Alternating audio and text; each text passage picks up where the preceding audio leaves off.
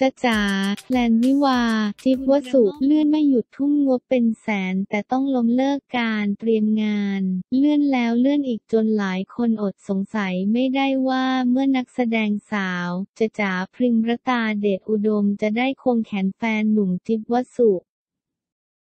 แสงสิงแก้วเข้าสู่ประตูวิวาเหมือนคู่รักคู่อื่นๆ บ้างล่าสุดจะจ๋าพริมรตาจึงได้ออกมาชี้แจงทันทีว่าสาเหตุที่ต้องเลื่อนเพราะทุกอย่างไม่พร้อมลงตัว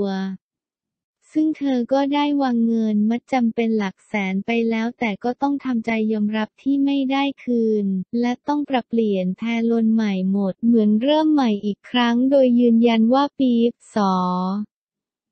2564 ได้แต่งงานอย่างแน่นอนถามถึงเรื่องแพลนแต่งงานเลื่อนมากี่รอบแล้ว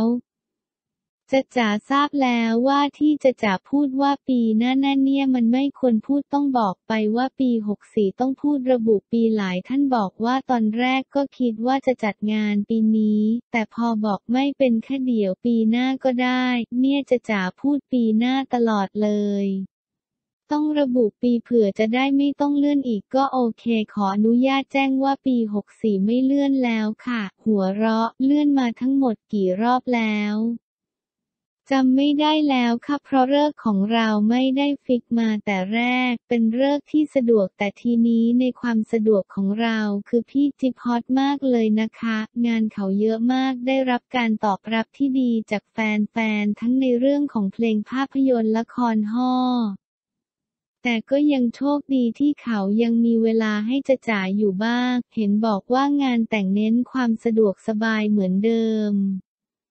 ใช่ค่ะจะจ่าคิดว่าวิธีนี้เป็นวิธีที่ดี เพราะงานแต่งงานของเราจะต้องสะดวกทั้งตัวเรา ทั้งครอบครัวเราและก็แขกที่มางาน ซึ่งสถานการณ์ที่ทำให้ไม่สะดวกต้องเรียนว่ามันก็มีเกิดขึ้นในปีนี้ และช่วงปลายปีที่เราตั้งใจก็คิดไว้ว่าถ้าเราอาจจะต้องลดสเกลงานให้มีความสะดวกมากขึ้น แต่อาจจะไม่ทันคือภาพที่เราคิดไว้เป็นแบบนี้ แต่พอเวลาต้องเปลี่ยนรูปแบบการจัดงานจะเป็นอีกแบบหนึ่ง ก็คิดว่าถ้าเกิดปี 64คิดว่าพร้อมแต่ช่วงไหนบอกอยากจริงอยากจริง เพราะเราไม่ได้จัดครั้งเดียววันเดียวแล้วจบจะเริ่มตั้งแต่กลางปีเป็นต้นไป ใช่แค่เริ่มประมาณช่วงนั้นจะจ๋าจะได้มีเวลาเตรียมตัวหน่อย เพราะอีกไม่กี่วันก็จะต้องหมดปีนี้แล้ว จะเข้าปี 64 แล้วเราต้องถือเคล็ดเหมือนกันนะทุกคนบอกจะจ๋ามีออร่าออร่าออร่าจนรออ่านแล้วเนี่ยหัวเราะออร่ามาสองปีแล้วแซวนะคะล้อเล่นๆยิ้มยังไม่ได้กำหนดวันใช่ไหม ใช่ค่ะทางทีมออแกไนซ์น่ารักมากเข้าใจที่เราเลื่อนงานมาพอจะจ๋าล็อกวันพี่เขาก็โอเคล็อกวันให้พอใกล้ๆพี่รับงานก่อนนะ หัวเราะเขาเข้าใจ เตรียมการไปถึงไหนแล้วเห็นว่าจ่ายเงินไปหมดการ์ดก็ทำแล้ว จะจ๋าเป็นคนจ่ายไงก็จ่ายไปแล้ว แต่โอเคไม่เป็นไรจะจ๋าเข้าใจคำว่ากฎก็ต้องเป็นกฎมีการจ่ายมาจำถ้าไม่ตรงวันก็ต้องเสียบางส่วนไป แต่ไม่เป็นไรค่ะ การ์ดต้องเปลี่ยนวันที่ใหม่ใช่ไหม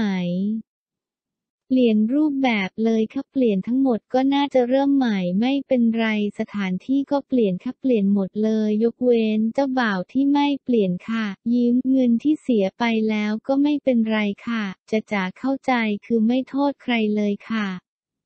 เสียไปก็ประมาณหกหลักเหมือนกันนะคะ เรื่องการมัดจำต่างๆ นานาเราทำหลายส่วนมีสถานที่มีการ์ดคือจะจ๋าเคยคิดนะว่าเราอยู่ในวงการบันเทิง ถ้าจัดงานแต่งงานคือสบายๆ เพราะนักข่าวก็พวกเรา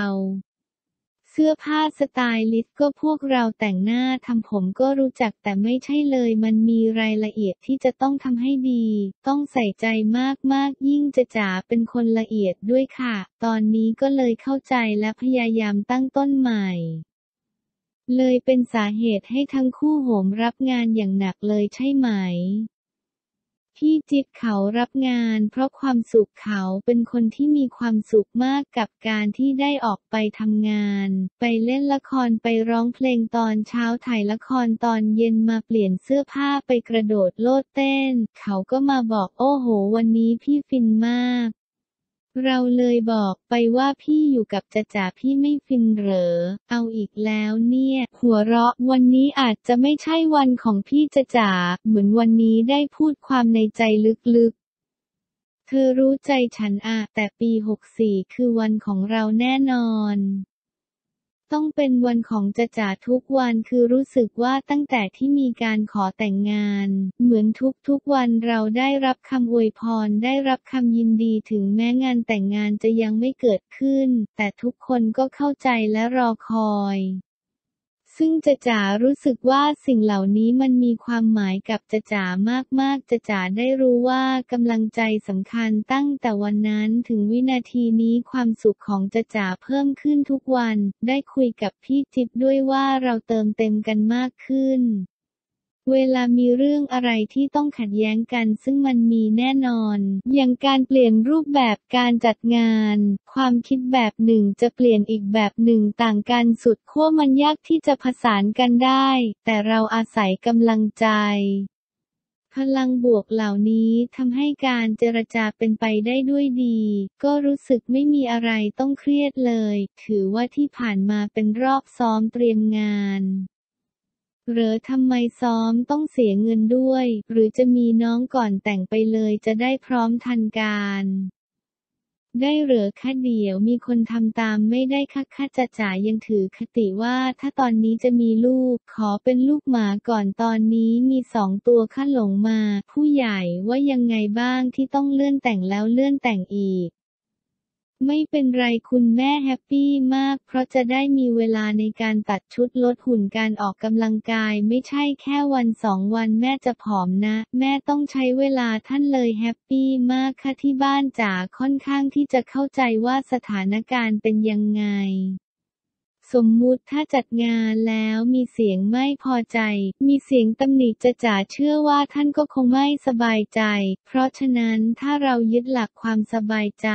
สิ่งเหล่านี้ทำอะไรก็ตามก็จะสำเร็จค่ะ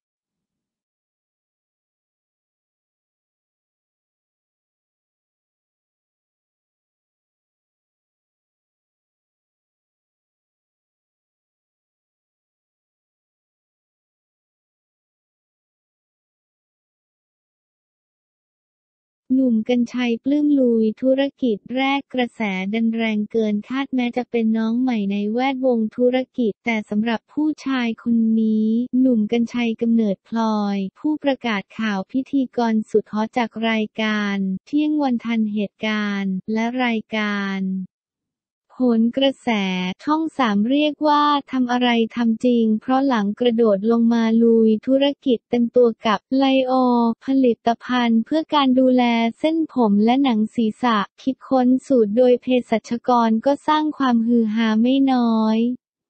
จนกลายเป็นแบรนด์ผลิตภัณฑ์เพื่อการดูแลเส้นผมและหนังศีรษะที่ถูกพูดถึงมากที่สุดในขณะนี้ โดยหนุ่มกัญชัย เผยถึงกระแสตอบรับที่ดีเกินคาดในครั้งนี้ว่าไลโอเป็นผลิตภัณฑ์ดูแลเส้นผมและหนังศีรษะเรามีสามกลุ่มสินค้าคือแชมพู conditioner และ hair tonic เรียกว่าผมทุ่มเทมากเราทำการตลาด 360 องศาทั้งออฟไลน์และออนไลน์ เพื่อให้เข้าถึงกลุ่มลูกค้าการทำการตลาดทางออฟไลน์ ไม่ว่าจะเป็น TV commercial หรือป้ายโฆษณาหรือบิลบอร์ด ต่างๆ เป็นเรื่องที่ยังจำเป็นเนื่องจากกลุ่มลูกค้าของเรายังอยู่ในกลุ่มที่เสพสื่อออกไลน์อยู่ และยังเป็นการเพิ่ม visibility ให้กับแบรนด์เป็นวงกว้างด้วย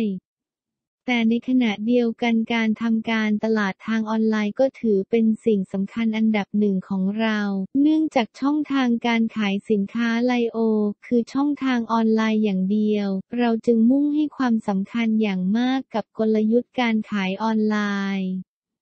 ซึ่งการเพิ่มยอดขายทางออนไลน์ภายในระยะเวลาอันสั้น ไม่ใช่สิ่งที่ง่าย แต่ก็ไม่ใช่ว่าจะเป็นไปไม่ได้ เพราะหลังจากที่เราเปิดตัวมาได้ไม่นานกระแสตอบรับดีมาก จนเราถูกจับตามองว่าเป็นแบรนด์น้องใหม่ไฟแรง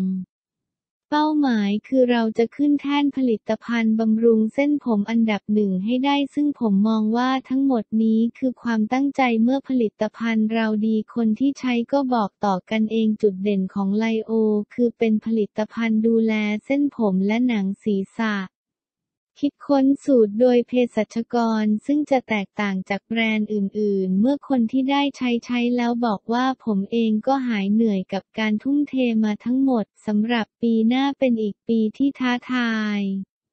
และเชื่อว่าการแข่งขันในกลุ่มผลิตภัณฑ์เพื่อการดูแลเส้นผมและหนังศีรษะน่าจะดูเดือดแน่นอนครับ